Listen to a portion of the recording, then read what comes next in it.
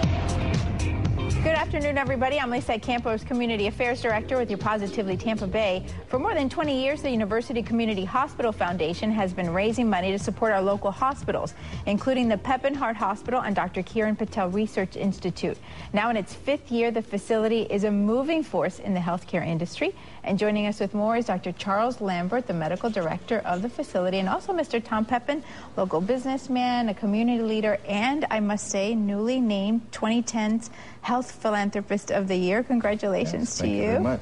Thank you both for joining me. You know, so many folks see the hospital, but I don't think they understand all the wonderful things that are going on inside the hospital. The collaborative research that you all are doing with other leading hospitals in the country is very impressive. What would you like our viewers to know right off the bat?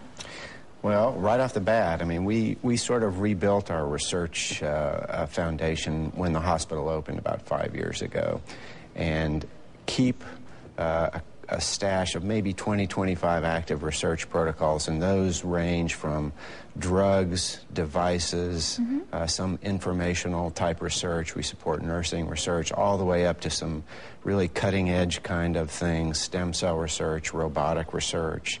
Uh, research in surgical electrophysiology, a lot of different things. Are you all tapping into the expertise of other scientists in other hospitals, for example, in Gainesville, Shands Hospital? Uh, to give you an example, I, I came down here from uh, University of Florida Shands Hospital, and what I would classify as probably the, the most important research we're doing at Pepin right now is a stem cell research project. Uh, that's being done with the Cleveland Clinic, the Mayo Clinic, uh, the Vanderbilt Heart Institute, and the Texas Heart Institute. We are in collaboration with the University of Florida, but it's the only NIH-sponsored stem cell trial in this country right now, uh, specifically to answer questions as to whether this therapy works or not.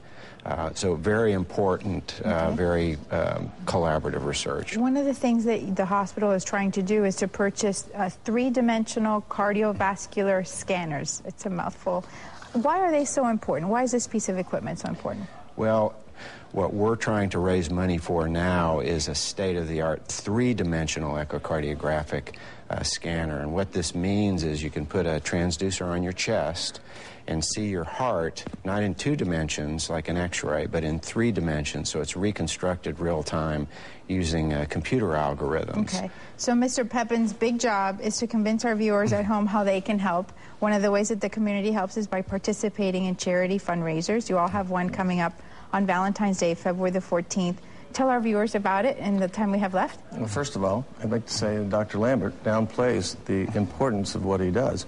In the future, instead of open heart surgery, stem cell research will replace the opening of the heart. Just go right to it. But our fundraiser is on Monday, February 14th. Uh-huh. It's our fourth year. We, we hope that, and we make it a, a fine dining with a purpose. Uh-huh. Candlelight dinner, very quiet, no solicitation, no auctions. And we, we, we hope that people enjoy themselves while they sit back and, and raise money for a purpose. And it's called the Sweetheart Rodeo.